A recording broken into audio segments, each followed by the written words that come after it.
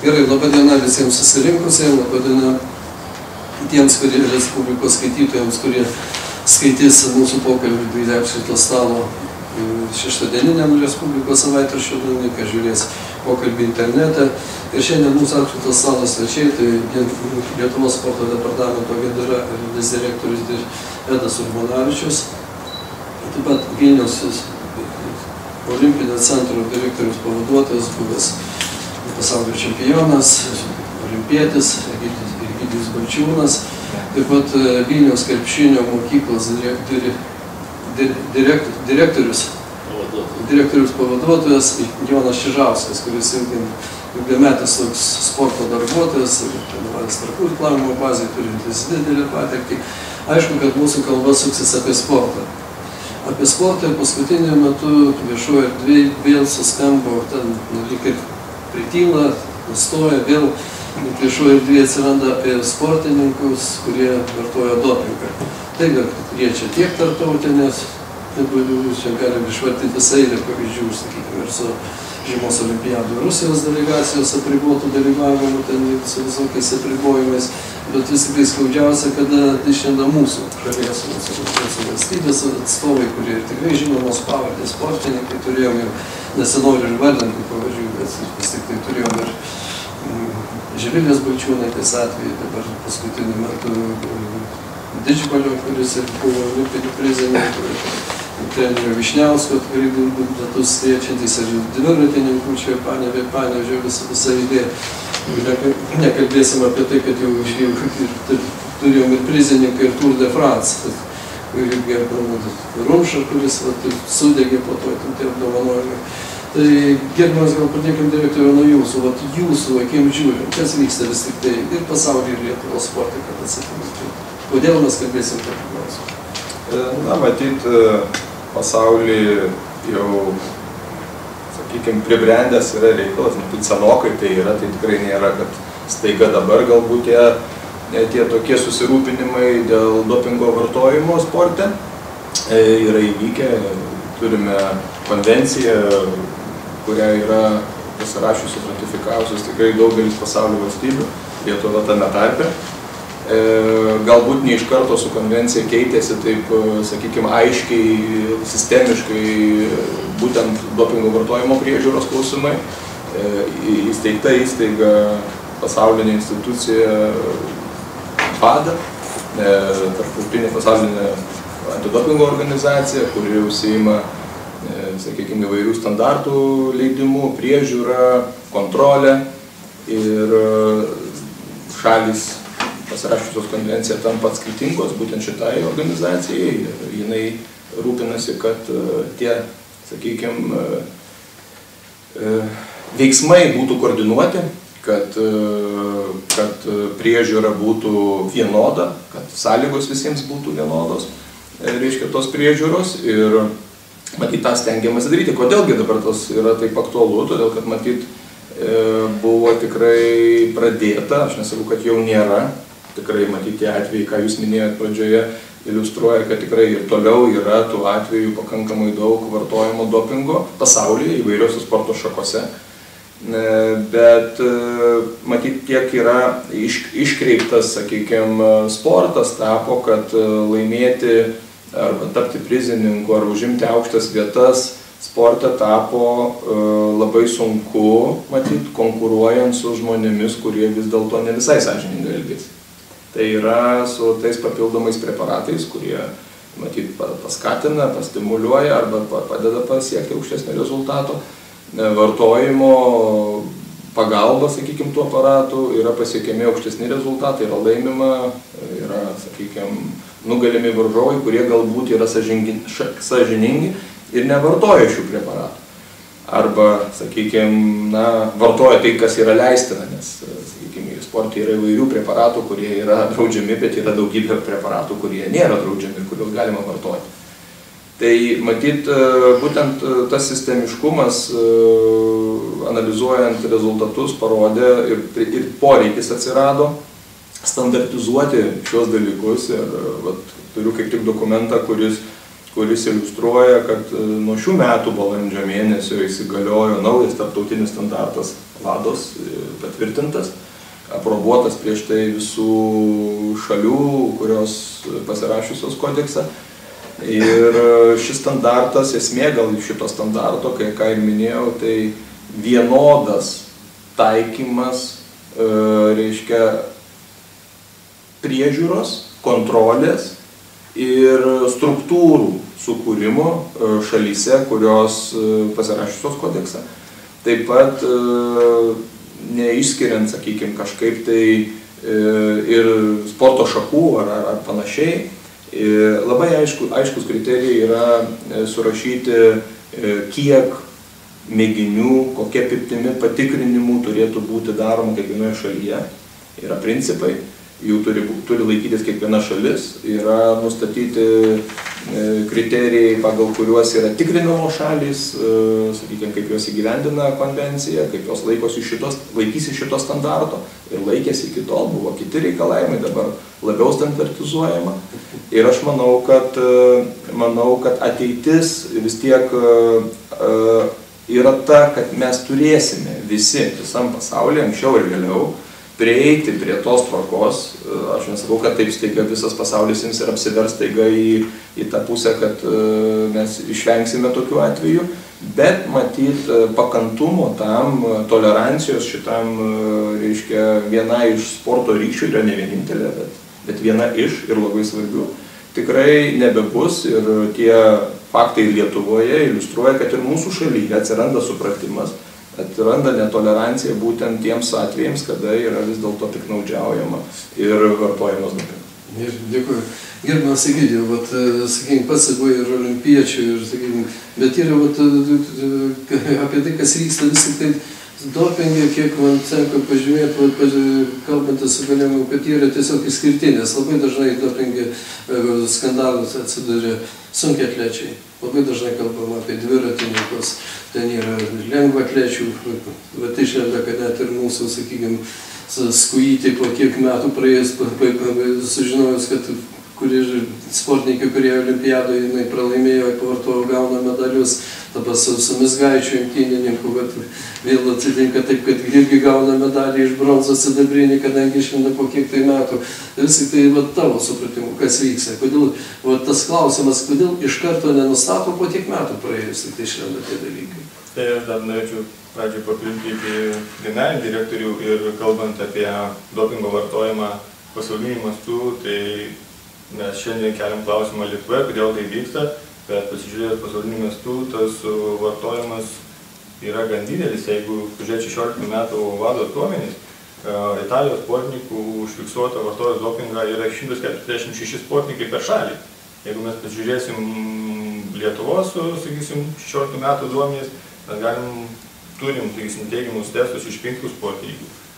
O mūsų regione, žiūrint tarp Estijos ir Latvijos. Atsiprašau, teigiamas testas, kad skaitytojams, tai tai yra, kad parodo, kad žmogus daug datuoja Latvijoje. Taip, Latvijoje yra keturi tokie sportininkai, Estijos, sakysim, buvo užfiksuota penki tokie sportininkai. Čia yra 16 metų duomenys, nemanau, kad jie labai keisis su 17 metų, bet tendencija yra pasaulinė, kad dopingų vartojimo atveju sugaunama, bet jų pastovi yra mažėjimo tendencija matoma, sakysim, žiūrint ilgalaikę, sakysim, patirtį ir duomenys.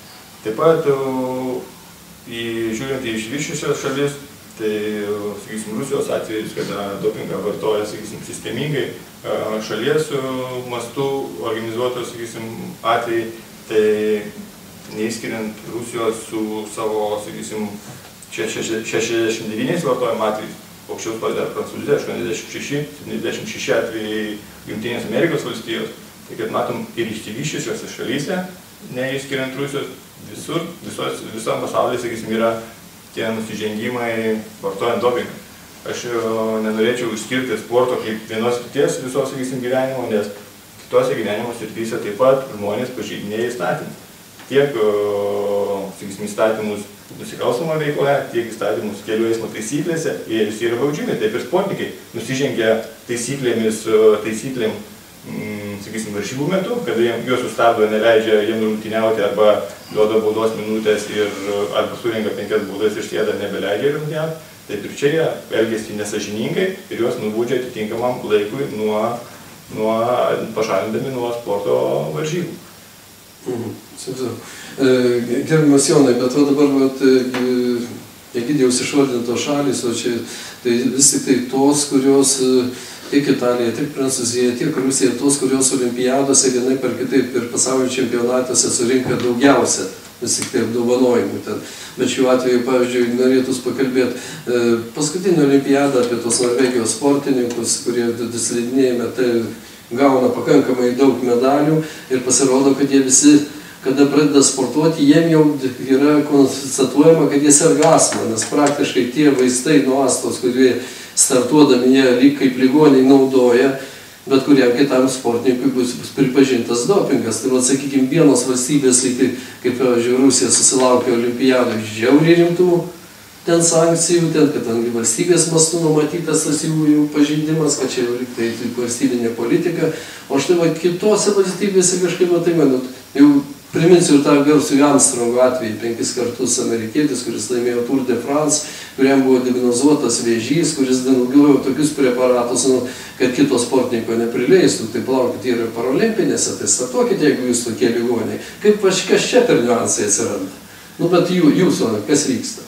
Na, aš galvoju, ne tik Norvegijos, čia kaip tam sportė teko dirbti ilgą laiką, tai vis tiek tenka domėtis tais dalykais, tai ir Australijoje kas antras plaukikas yra asmeninkas, yra kitų šalių, sakykime, toje pačioje Amerikoje. Ir, sakykime, pasižiūrėkim, kas daros Prancūzijoje, nors labai kovoja su dopingu griežti dalykai. Taip kad e, vis tiek e, tie dalykai, kuriuos, e, kurie leidžiami tarptautinių organizacijų, jie yra leidžiami. Bet mano nuomonė tokia, kad sporte turėtų visiems vienodos būti sąlygos. Jeigu, jeigu sakykime, man tas vaistas yra kaip žmogui yra vaistas, o jam yra dopingas, sakykime, tuo metu jis pagerina, sakykime, jo tas e, savybės visas, kad jis galėtų ne visiškai, mano supratimu, teisingų kelių kovoti dėl to aukšto apdovanojimo. Tai čia vienas dalykas. Kitas dalykas, ar mes galim sąžiningų kelių laimėti tos medalius. Manau, kad Lietuva įrodė. Mes neturėjom nei dopingo atveju nuo 2000 metų olimpinių žaidinių, kada prasidėjo medaliai, kada prasidėjo centralizuotas parengimas, kada buvo kontroliai ir mūsų medikų, sakykime, ir tarptautiniai kontroliai, kaip sakant, ir mūsų agentūros kontroliai. Ir mes turim tuos medalius ir 2004 metų Atieno olimpiadoje, ir Pekinė turim, ir Londone turim, ir galų gale Rio olimpiadoje turim medalius, tai gyvenimas rodo, kad tie dalykai ir teisėtų kelių, ir atliekami viskas, kaip sakant, ir tų preparatų yra daug, čia turi daug, tais klausimais daug dirbti, e, sakykime, ir dirbo mūsų medikai, mokslininkai, treneriai, tai ir pasiekė, pasiekė labai aukštų rezultatų ir be dopingų. O kaip pasakyti, kuo galingesnė valstybė, kuo didesnė, kuo jie turi daugiau finansinių resursų, jie kažką tai galvoja, kaip sakant, galvoja į priekį, ko dar negali, sakykime, dopingo agentūros, kaip sakant, pagautų dalykų. Tai vat, būna ir tų medalių, nelabai švarių, gražių, bet kaip gyvenimas parodo ir po daugelio metų tie medaliai yra gražinami sportininkam.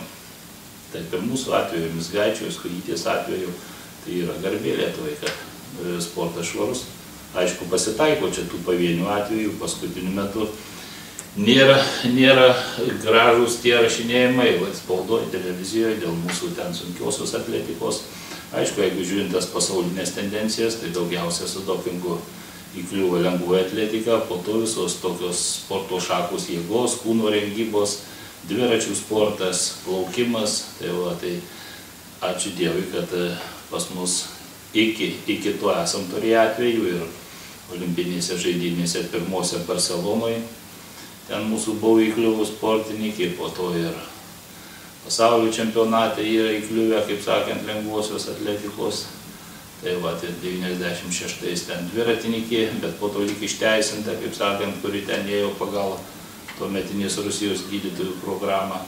Taip kad e, pas, pasaulyje šiuo klausimu tikrai labai daug dirbama, daug lėšų skiriama ir manau, kad vis tiek tas sportas turėtų būti švarus.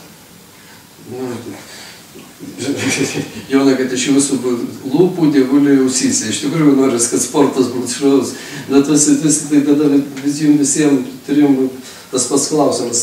Kodėl vyksta? Kas verčia vat, būtent e, sportininką naudotos preparatus, jo treneris, ar tas atstovavimas šaliai, norėti išgarsint savo valstybės vardą ten yra. Gal gali, vat, Jono geras pavyzdys pasakytas, vat, paminėsim jau kalbėtą pavardę, Didžbalis. Nu, tikrai laimė bronzos medalį, niekas švarus sportininkas patikrina vis olimpietis, nudžiugu gražu pasaulio čempionate paaiškėjo, kad vartojo. Tai ar jis čia persilaužė, ar, ar čia treneris liepė, ar, va, tas, sakykime, irgi va, laimėsiu, va, nedaug trūksta, Lietuvą išgarsinsiu.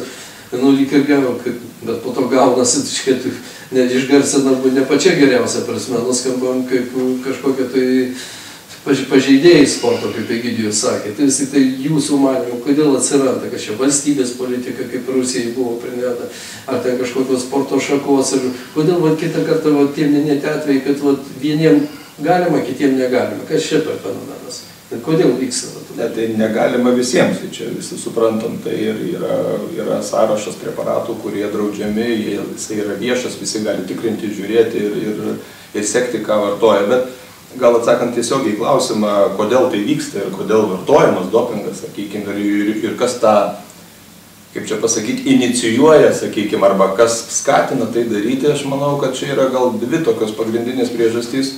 Visų pirma, jau seniai sportas yra politikos dalis, valstybių politikos dalis. Tai šitą reikia suvokti, jeigu grįžtumėm atgal dar į tą senuosius laikus, tą šaltąjį karą, pirmąjį, tai kai kurios e, sovietinio bloko šalys darė politiką per sportą stipriai, pavyzdžiui, ta pati demokratinė Vokietija, ten tikrai mes turime daug atvejų, laboratorijos atrastos ir taip toliau, kur buvo tiesiog kūriamas e, cheminiai junginiai įvairūs, jų specialistai pasklido taip pat po pasaulį tam tikrų metų, e, reiškia, skleidė tas, tas idėjas, bandė, bandė sakykime, kitose šalyse e, subirėjus e, Vokietijai demokratiniai skleisti tą savo e, mechanizmą atidirbtą.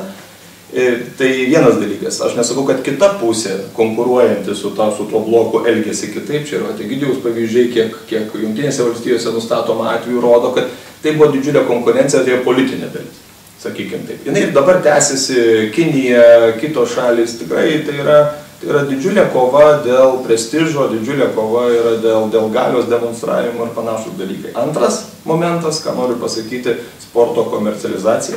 Tai yra, reiškia, įvairūs, įvairūs prizai, įvairios premijos, įvairūs kontraktai reklaminiai sportininkui už aukštus laimėjimus verčia sportininką, trenerį, personalą siekti bet kokiomis pastangomis aukštų rezultatų. Tai yra laimėti, gauti galimybę būti, sakykime, na, jeigu taip išsireiškus, galbūt žinomam, turtingam tuo pačiu ir, ir, ir panašus dalykai. Tai čia aš manau, taip pat nėra visai, ypatingai su olimpiniu sportu, suderinami dalykai, tą, ką mes deklaruojame nuolat ir suprantam, kas yra olimpizmo idėjos ir čia matyt, būtent tos olimpizmo idėjos jos turėtų būti skleidžiamos sporte dar stipriau, tai tuo pačiu ir, ir vada kodekse yra labai aiškiai e, viena iš programos dalių yra švietėjiška programa, programos dalis. Daug turėtų būti skiriama dėmesio švietimui, ypatingai jaunimo švietimui. Reiškia, tų žmonių, kurie dar nežino, kas tai yra, gal dar net nepradėjo sportuoti, bet jau jie turi susipažinti, kad čia yra negeri dalykai, kad tai yra negatyvas ir kad e, ne, ne, nesusigundinti tais, e, sakykime, kažkieno tai galbūt pasiūlymais ir panašiai. Ateityje. Tai švietėjiška veikla yra labai svarbi ir jinai turi apimti, kaip minėjau, tiek visuomenę, nes ir dabar pas mus Lietuvoje visuomenė, sakykime, aš nežinau kaip kitose šalyse, nesutyrinėjęs visuomenės nuomonės, nepakantumas tas bendraja prasme, kaip jisai visur jaučiamas. Ne, ne, tai negerai, visi kalba. Bet jeigu taip giliau pasižiūrėjus, ar tikrai visuomenė aiškiai supranta, e, pavyzdžiui, Lietuvoje, bet paprasta visuomenės dalis, ne sporto bendruomenės ir visuomenės. Tiesiog, kas tai yra? Dalis supranta, dalis dar ne.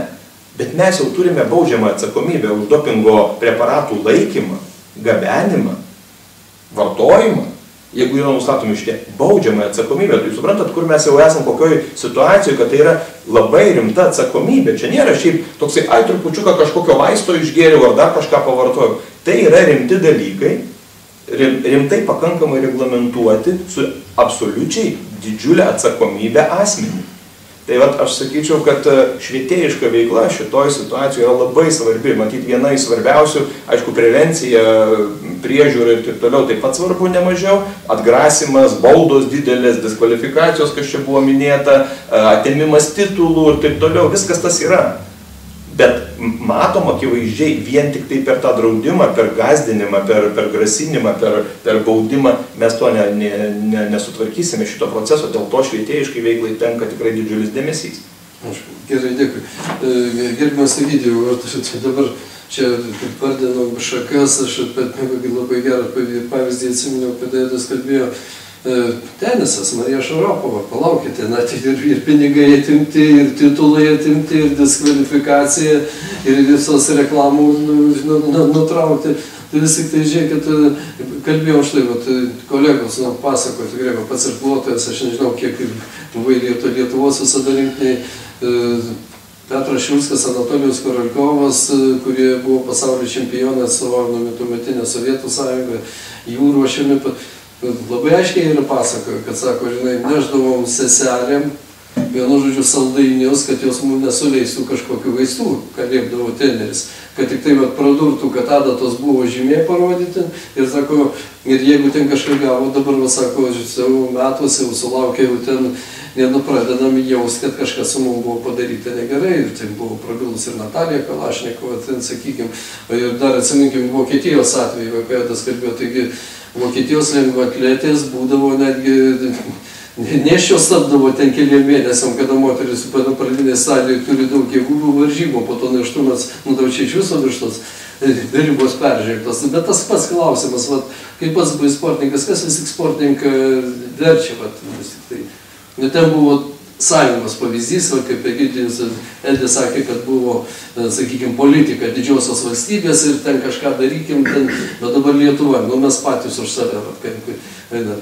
Nu, pa, pačiam nebuvo pagundų, net niekas nesiūlė, kada ten, žinai, ten kokiu. Man galima pasakyti, kad aplinka kalta, nes e, verčia sąlygos. Iš, iš, vienas dalykas išvardytos sąlygos, nes jeigu pažiūrėsim į tas valstybės, kurios daro tai valstybiniu mastu ir ne tik tai, sakysim, Rusijos atvejus, kada galima traktuoti valstybinį dopingo naudojimą. Pasižiūrėjome į Pekino olimpinę žaidynę, kur buvo Kinijos komanda galutinių medalių įskaitoje pirmoje vietoje. Nors prieš tai olimpinėse žaidynėse gal tik tai šešetuką pataikydavo ir po tų olimpinių žaidynių vėl tik tai šešetuką medalių skaičių. Tai vadinasi, ten buvo padarytos sąlygos, kad su atranka sportininkų nieks nepaneigs, kad nebuvo padarytos sąlygos ir vartojimui neleistinų medžiagų ir metodų. Mes kalbam dabar tik apie medžiagas. Yra dar ir metodai neleistinai naudo, naudoti sporte. Tai kraujo perpilimai. Su Maskvos olimpiados su mūsų Aleksandro Antipovo, būtent tas. Tai, yra, yra, yra, yra, yra kiti, kiti atvejai. Tai matom, valstybiniu mastu kalbant, yra šitas dalykas ir jau tada nuo sportininko nepriklauso, tu esi rinktinė ir kaip jūs vardinėt, sakysim, didelė šalies rinktinė, jau tavęs neklausia, tu nori ar nenori.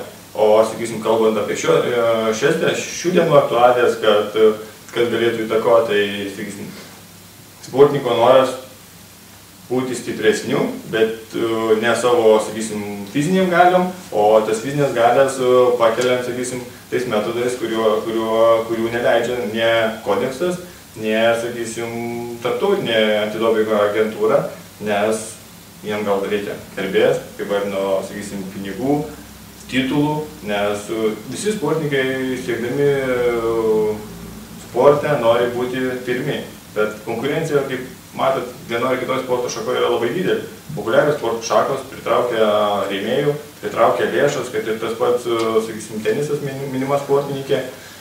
Yra atvejai, kada sportininkas vartoja, sakysim, preparatus nežinodamas, kad tai padarė, kada prepara, draudžiamas preparatas yra kažkuriam vaiste nuo lygos. Jeigu aš vartoju slogos lašus peršalę, tai turiu žinoti, kuriuos galima man vartoti, o kurių negalima, nes kai kurios medžiagos, kaip efedrinas yra draudžiamas, draudžiama medžiaga, kuri įtraukta į draudžiamų medžiagų sąrašą. Tai Šarapos atvejis pasikeitė sąrašo medžiagų pavadinimai įtraukti, įtrauktos naujos medžiagos, kurios neleistinos sporte ir tos medžiagos, sakysim, ištyrimas, kiek jinai laikosi organizme, nebuvo plačiai ištirtas ir gal toksai atvejis e, galimas jos, sakysim, sportinės karjeros metu. Tai dar jeigu kalbant apie e, skaičius, per metus, sakysim, tarptautinė agentūra, per nacionalinės agentūras paima 230 tūkstančių mėginių. Iš jų pripažįstama teigiamai 44 e, procentai mėginių. Iš tų 44 procentų, kurie lieka, yra arba neigiami, arba leistinas vartojimas dopingo. Leistinas mm, medikamentų vartojimas, jeigu įrodo sportininkas, kad vartoja gydimui, arba kad turi gydytojo leidimą vartoti tas medžiagas. Tai matot, tik tai pusė, pusė sportininkų būna sugauti, o kita pusė arba turi leidimus, arba yra švarų. Tai skirtingą atvejį reikėtų svarstyti atskirai, negalima sakyti, kad visi m, mm, siekdami rezultato turi tuos blogus kėslus, kad nešvarių žaidimų, sakysim, aplenkti konkurentus. Ir gerbiamas Jonai, tada užduosiu taip, kadangi tikrai ruošiaus daug, daug su daug iš sportininkų pažįstamų kalbėjau, ten prie visokių, e, tokią nuomonę. Sako, čia tas paskas, kodėl vieni kalėjime sėdi, kiti ne. Vienus sugavo, kiti ne. Visi vartoja, bet vat, vienus sugauna, kitus ne. Bet kaip, jeigu grįžtant prie to pačio klausimo, kažkada tai sakė, E, kolega studijavę kūno kultūros institutė ir uždavė klausimą, ten, kodėl žmogus sportuoja. Pasirodo, klausimo atsakymų buvo bent 10 punktų, tik kuris ten dominuoja, ten buvo ir meilė tėviniai. Ir e, noras ten, sakykime, vis tiek kažkokį finansinę paskatą turėti, jeigu tu ten laimi premijas. Toliau buvo fizinio tobulumo siekimas, norint savo pačiam kažką įrodyti, norint pat, pat, norint nu, būti fiziškai stipriam ir taip toliau ir taip toliau. Tai vat, jūsų, pavyzdžiui, matymas, e, kodėl žmonės vartoja to. Treneris liepė, kuris nori, kad auklėtinis auklėtis nežinojo, kad nežinau, kad panevežiai buvo atvejis, kada keli konkuruojantys treneriai, vienas paskundė kitą, kuris savo, savo nu, vienam perspektyviam sportininkui duodavo kažkokį preparatą, kuris jau tuo metu treniruočių E, būtent laikotarpį, jisai jam duodavo didesnį pasiruošimą. Po to tai, berots, jeigu ne, galiu suklysti, testosteronas, kuris po kiek laiko prapuola organizme, bet tam tikslų per varžybas tu ten sako, gali naudoti kiek nori, ten nieko nepasieksi, bet ruošiant pasiruošimo laikotarpį jisai duoda labai daug, kad tu gali labai aukštais krūviais treniruotis.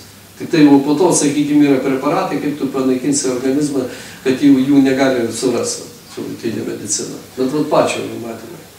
Aš manau, kad mes per mažai dirbam, kaip generalinis sakė, švietėjišką prasme. Kad praktiškai, nu, per mažokai aš ir dirbu dabar. Vienoje vietoje teko dirbti ir kitoje, kaip sakant, žmonėms reikia aiškinti. Mes pirmą kartą tokį švietėjišką atvejį padarėm po 92 metų Barcelonos olimpinių žaidinių, kada mūsų viena iš sportininkių užėmus ketvirtą vietą įlindo ten su kažkokiu, kaip jūs sakot, nelabai reikšmingu dopingo, dopingo naudojimu. Atsiprašau, jūs čia Nijolė Medvedevė. Na, nu, aš nenoriu vardinti tų pavardžių, kadangi tai buvo sportininkė dabar. Dabar jau tai buvo sen, senokai, čia nereikėtų tų prisiminti atvejų, tai mes e, tą linkme labai daug dirbom ir mes kvietėmės iš dopingo agentūros ir mūsų treneriai skaitė, klausys tų paskaitų ten ir su medikais ten žiūrėjom, kokie galimi variantai. Net prieš vienas olimpinės žaidynės buvo iš Rusijos pakvie, pakviesti tie žymus, žymus, kaip sakant, ir treneriai, ir mokslininkai, kurie net nedopingo reiškia naudojimo, yra visokiausių medikamentų junginių. Tik tai mes kaip nemokam jų panaudoti reikiamų periodų, reikiamų savybių, ugdymo laikotarpių, kurie duoda didelį efektą.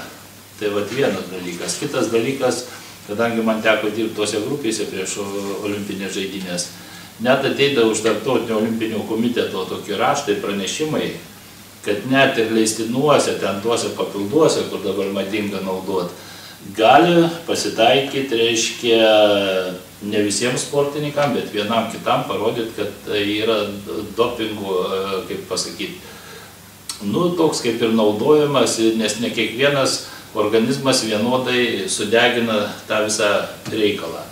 Taip kad e, čia ta, ta pusė labai, kaip pasakyti, dopingo ta naudojimo labai pla, pla, plati.